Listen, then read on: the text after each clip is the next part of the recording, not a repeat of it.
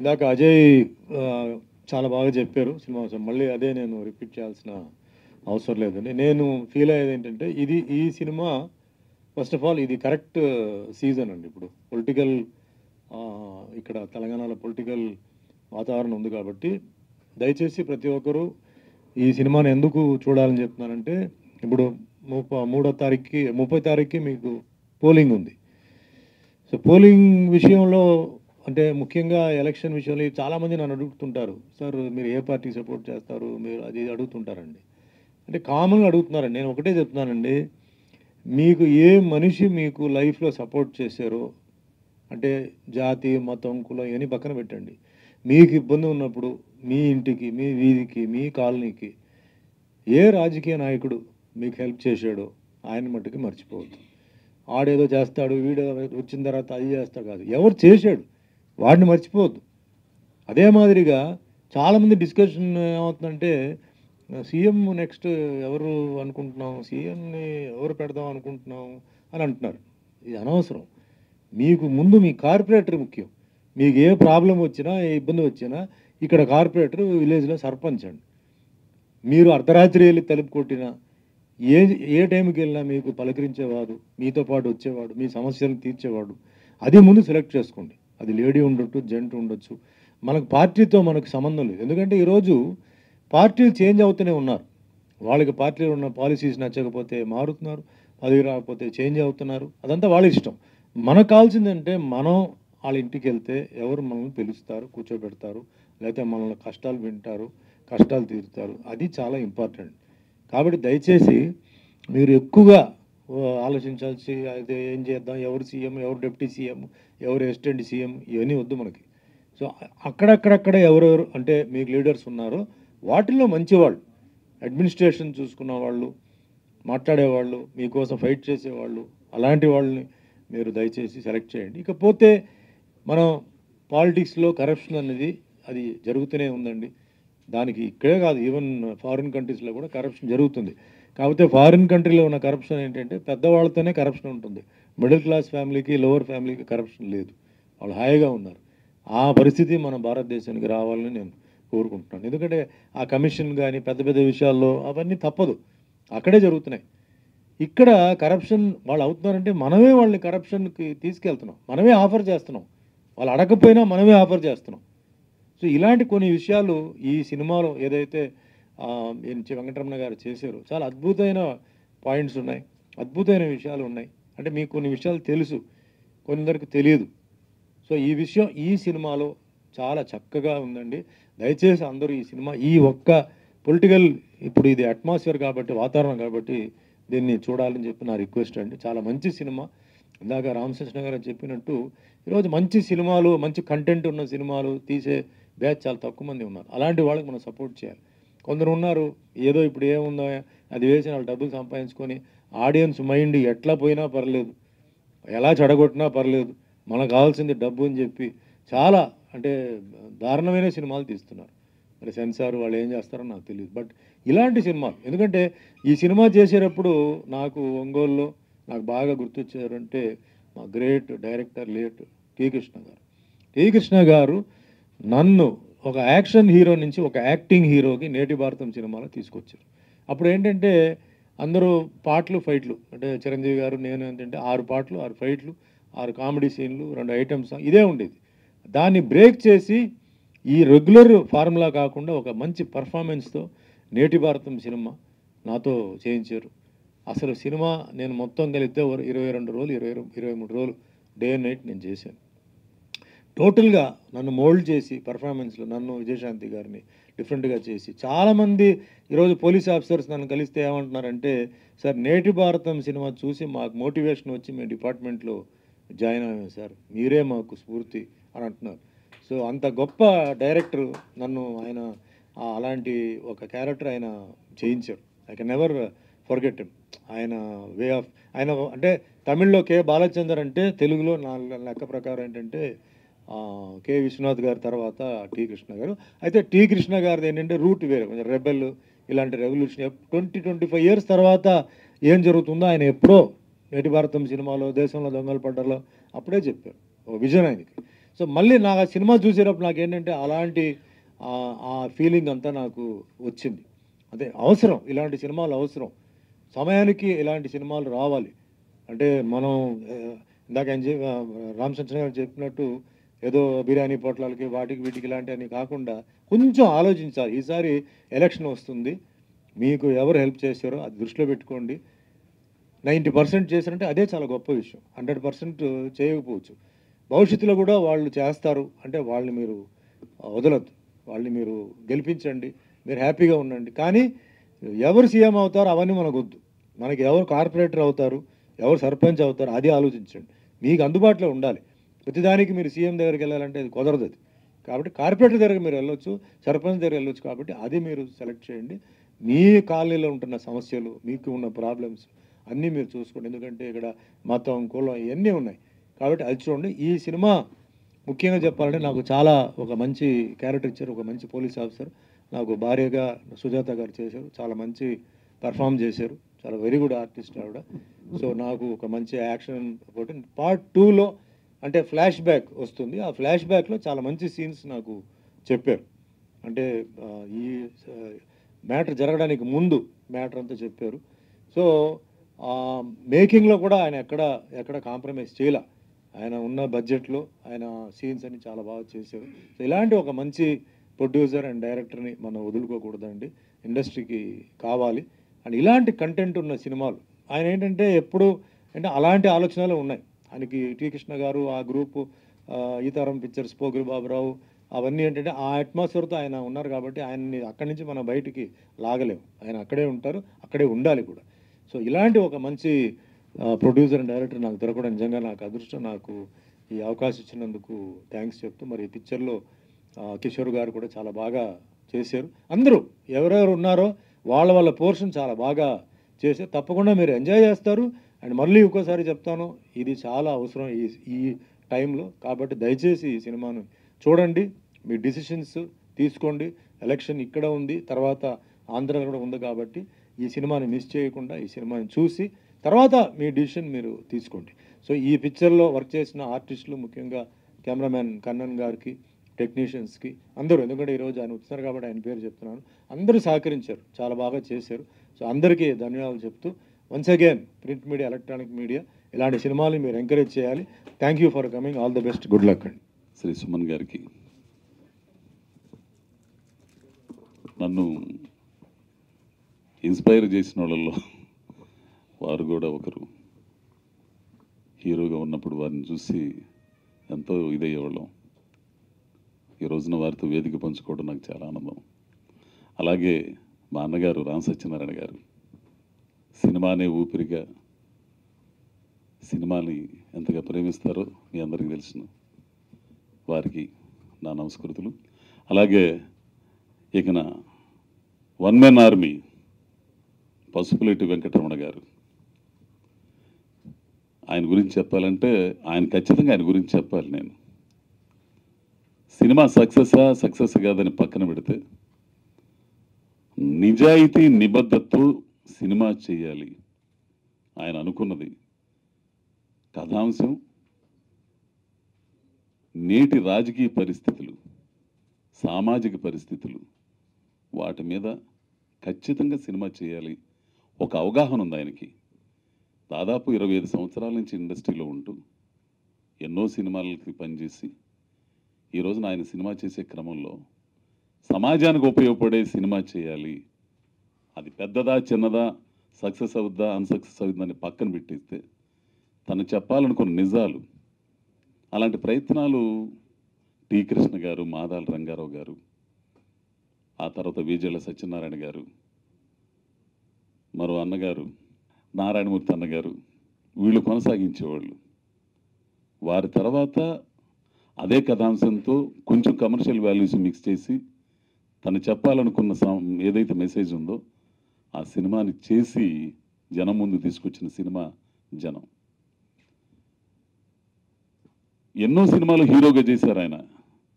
కానీ కొన్ని సినిమాలు టీ కృష్ణ గారు దర్శకత్వంలో వచ్చిన సినిమాల్లో అది ఒంగోలులో చేసిన సినిమాల్లో సుమన్ గారు హీరోగా చేసిన సినిమాలు ప్రత్యేకం. దేశంలో దొంగలు పడ్డారు కానీ ఇంకా చాలా ఉన్నాయి అట్లాంటి సో ఆ కోవలకు చెందింది ఎన్నో సినిమాల్లో పెద్ద పెద్ద వారు పెద్ద పెద్ద పెద్ద హీరో పెద్ద సినిమాల్లో చేస్తున్నారు.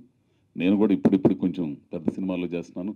అయినా ఇలాంటి సామాజిక అంశాలతో కూడుకున్న సినిమాల్లో చేయవలసిన బాధ్యత ఉందని నేను అనుకుంటూ అది చిన్నదా పెద్దదని పక్కన పెడితే ఆయన ఆసక్తిని సమాజం పట్ల ఆయనకున్న అవగాహనని సినిమా పట్ల ఆయనకున్న అవగాహనని అర్థం చేసుకొని ఖచ్చితంగా ఈ సినిమాలో చేయాలనే ఉద్దేశంతో నేను చేశాను. ఒక మంచి క్యారెక్టర్. నా క్యారెక్టర్ ద్వారా ఇందులో జనంలో ఉండే ఒక సినిమాలో ఉండే నా క్యారెక్టర్ ద్వారా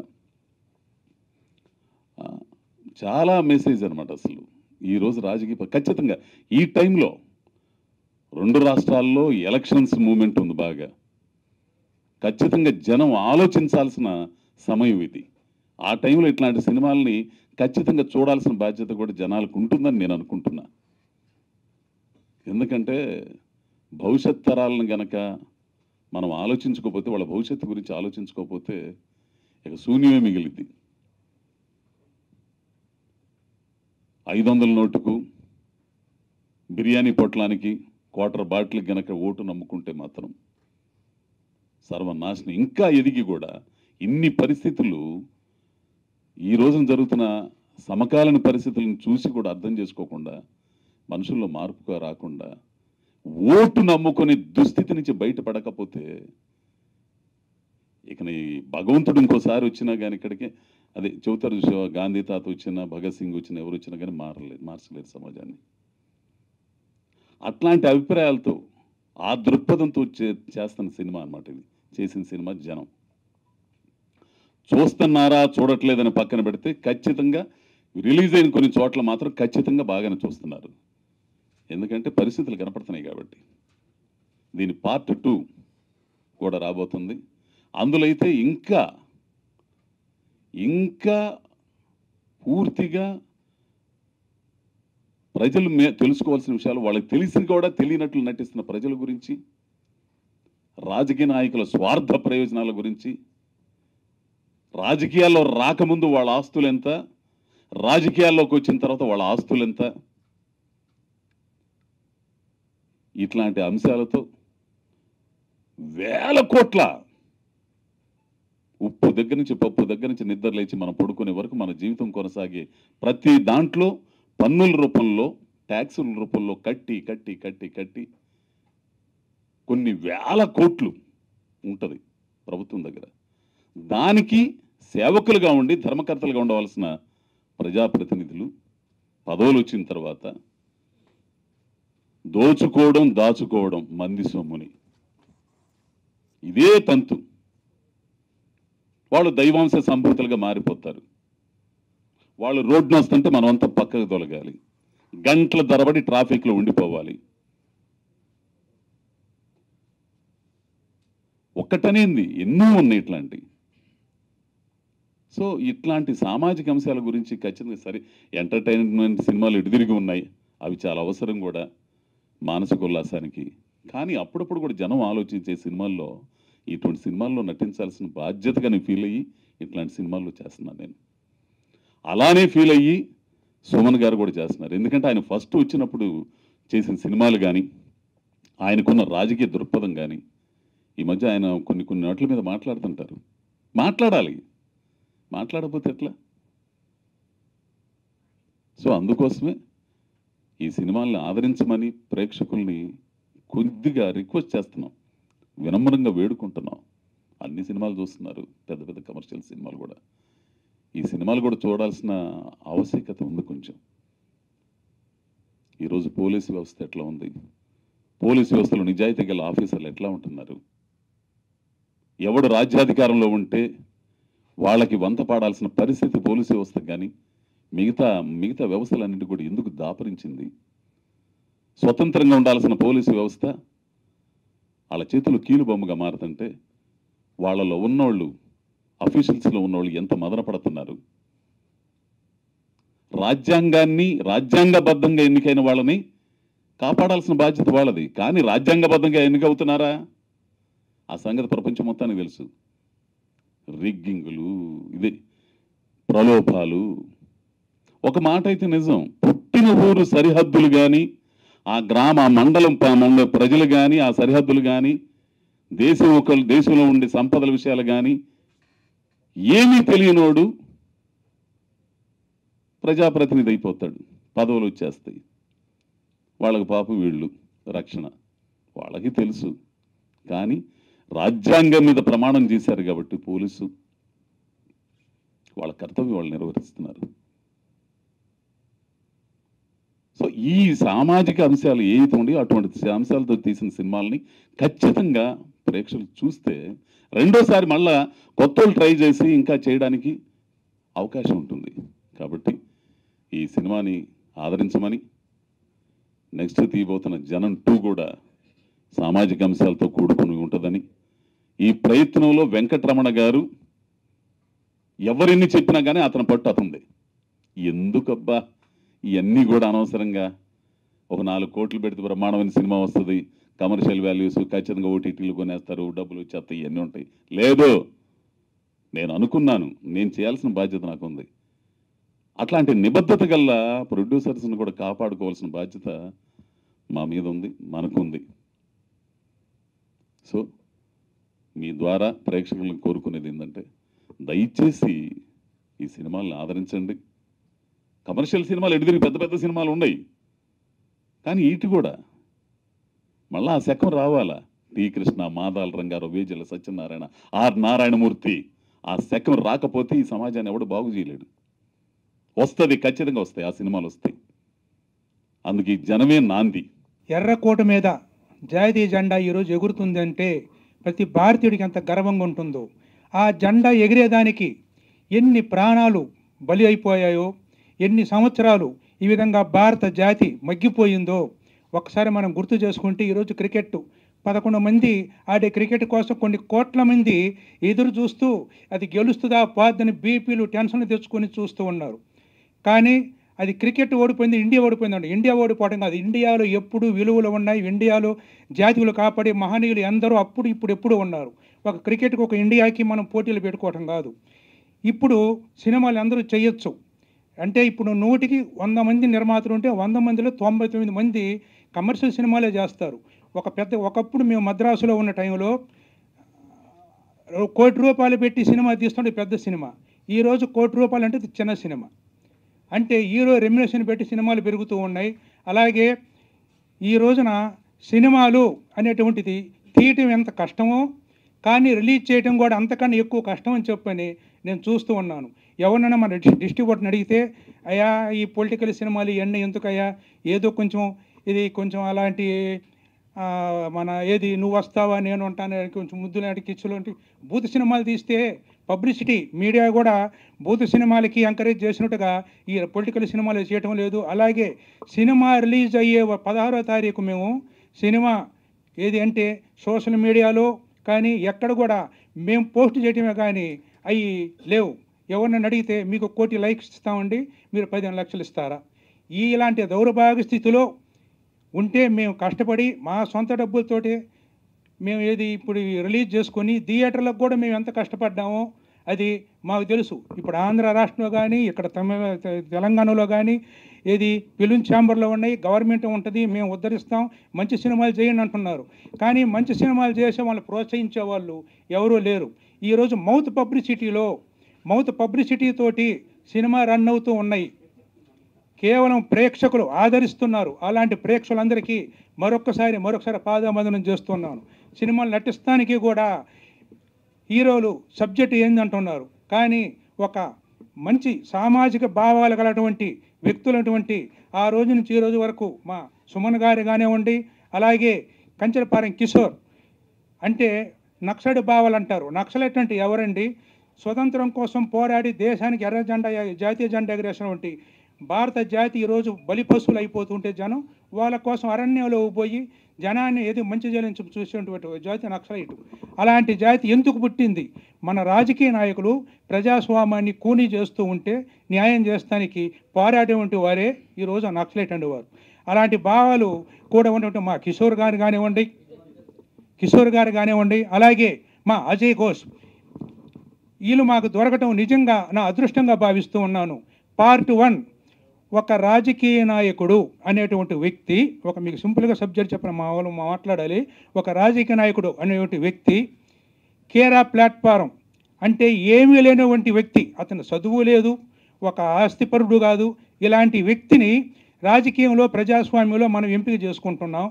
ఎంపిక చేసుకుంటే ఎదిగిన తర్వాత నిజాయితీ గల పోలీసు ఒక ఐఏఎస్ ఐపీఎస్ నిజాయితీగా ఉంటే ఏ విధంగా ఉంటుందో అలాంటి ఒక నిజాయితీ గల పోలీస్ ఆఫీసర్ని అతను పబ్లిక్లో ఏది ఎవరికి తెలియకుండా కాముగా చంపి అవతల పడేసేసి అతని భార్యకే ఏది సమాజం ఉద్ధరిస్తున్నట్టుగా ధర్నా చేస్తూ ఉంటే అమ్మనికి న్యాయం చేస్తానని చెప్పని తీసుకొచ్చి ఆ భార్యకే ఒక పోలీస్ ఆఫీసర్ వారిని తను మళ్ళీ పెళ్ళి చేసుకొని ఆమెను మెప్పిపెట్టి పెళ్ళి చేసుకొని ఏ భావాలతోడైతే నక్సలిజులో ఉన్నారో ఆ నక్సలిజం ఉన్న వ్యక్తిని మన పోలీస్ ఆఫీసర్ని చంపింది నక్సలైట్ అని చెప్పిన ఆయన గురి గురికం వ్యక్తి ఒక ప్రజానాయకుడిగా నీరాజంలో పడుతూ ఉన్నారు.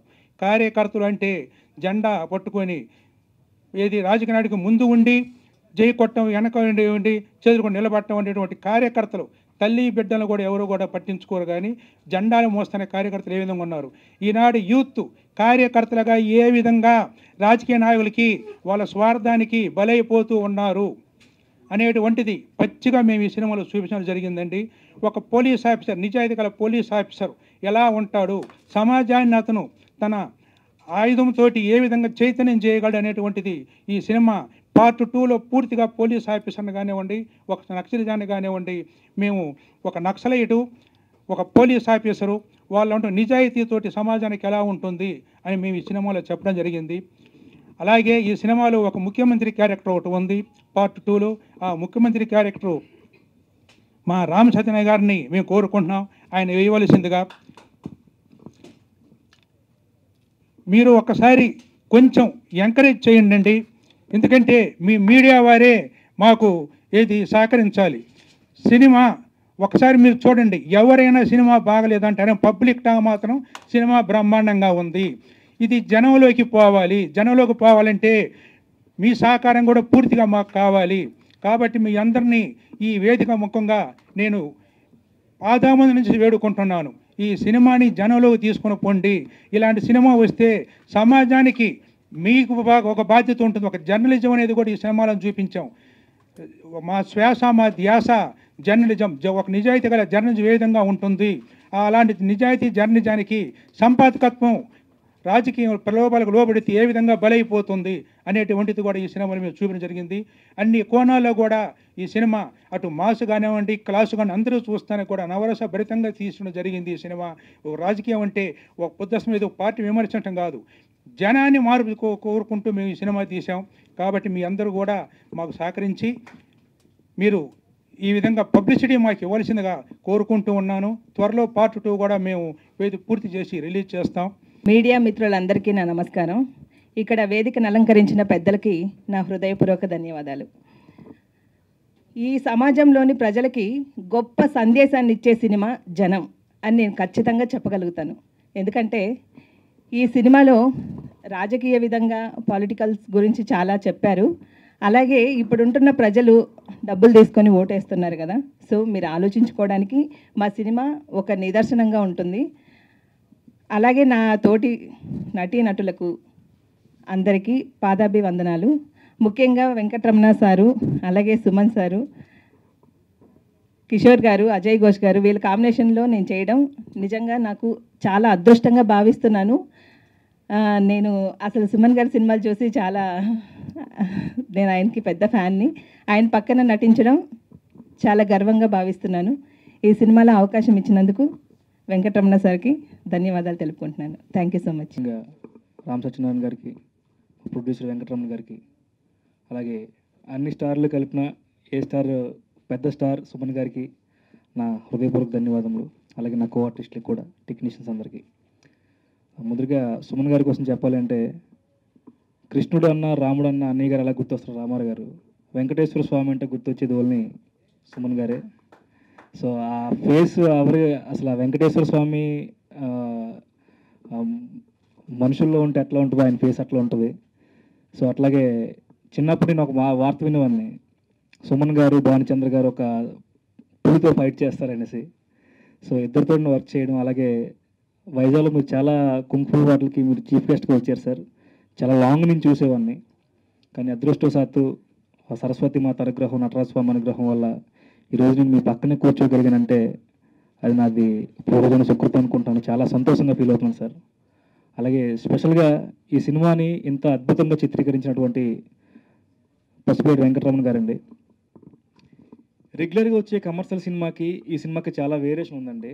ఈ సినిమాలో ఎందుకంటే ఈ సినిమాలో ఇది చిన్న సినిమా పెద్ద సినిమా ఈ సినిమా నేను చేయాలని నాకు ఆతృత కలిగింది ఏంటంటే నాకు సిక్స్ సెవెన్ ఇయర్స్ ఉన్నప్పుడు నేను ప్రజానాట్య మండలిలో ఒక సిపిఎం సిపిఐ పార్టీస్కి అనుగుణంగా ఉండేటువంటి కొన్ని కొన్ని పాటలు పాడేవాడిని. డప్పు వాయించిన డప్పు చాలా బాగా వాయించేవాడిని. నాకు ఒసే రామ్లమ్మ అని ఒక సినిమా చూసి అందులో ఒక లిరిక్ నాకు చాలాసార్లు హన్ హాన్ చేసేదండి. నేను చచ్చిపోతున్నా రేపే డప్పు అయి పుడతా.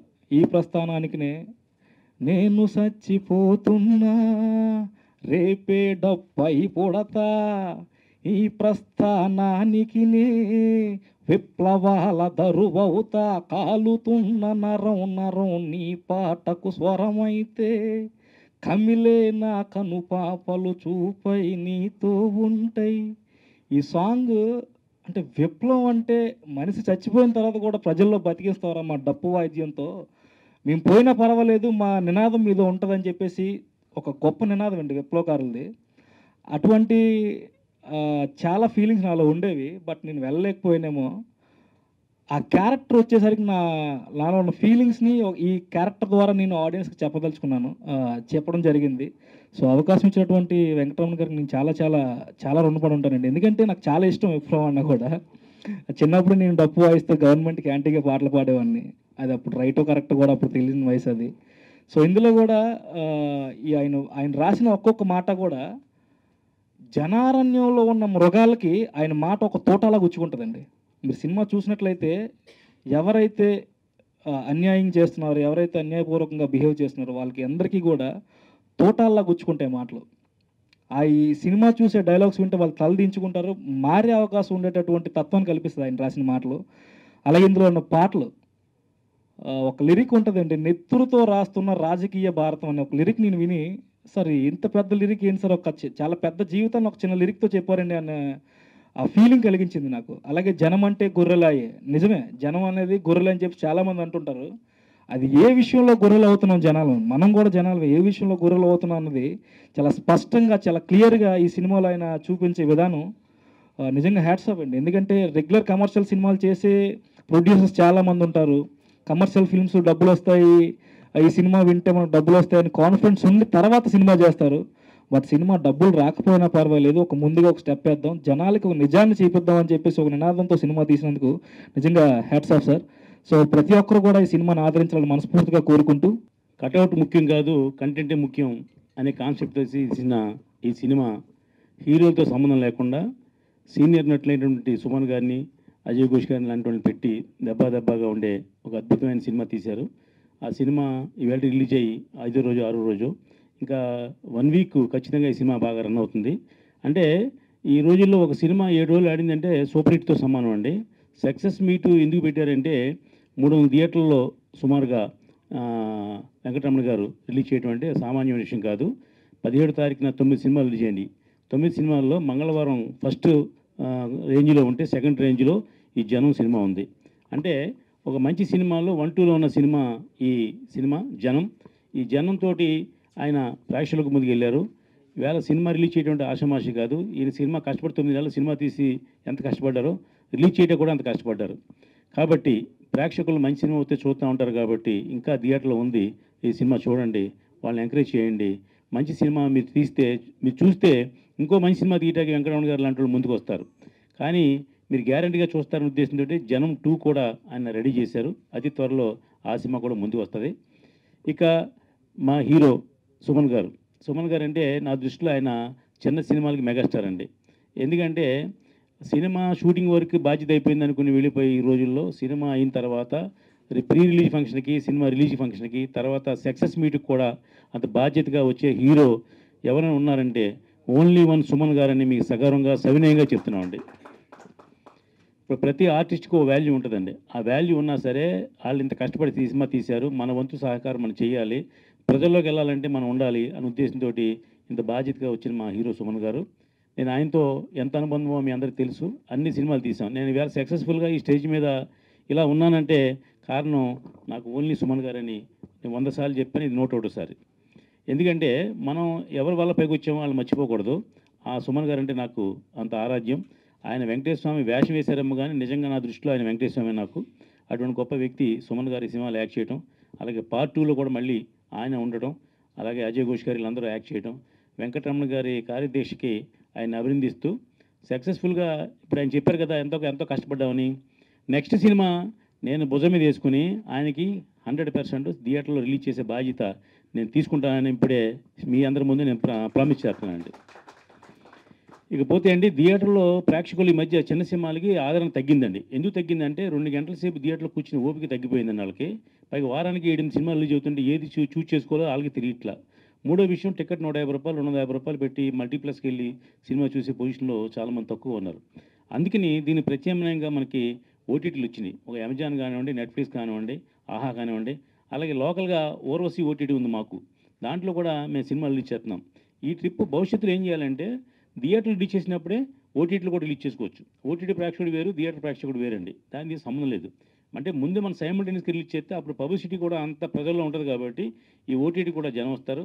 అలాగే ఫైబర్ నెట్ అనే ఆంధ్రప్రదేశ్లో ఒక అద్భుతమైన గవర్నమెంట్ సంస్థ ఉందండి ఫైబర్ నెట్. అది కూడా టీవీలో సినిమాలు వేస్తున్నారండి. అది కూడా టికెట్కే ఫ్రీగా కాదు. తొంభై తొమ్మిది రూపాయలు టికెట్ పెడితే గవర్నమెంట్ ఫిఫ్టీ పర్సెంట్ తీసుకుంటుంది ప్రొడ్యూసర్ ఫిఫ్టీ పర్సెంట్ ఇస్తుంది. అది కూడా మనమే దానికి మంచి అట్లా చూస్తున్న సహకరిస్తున్నాం వాళ్ళకి గవర్నమెంట్కి.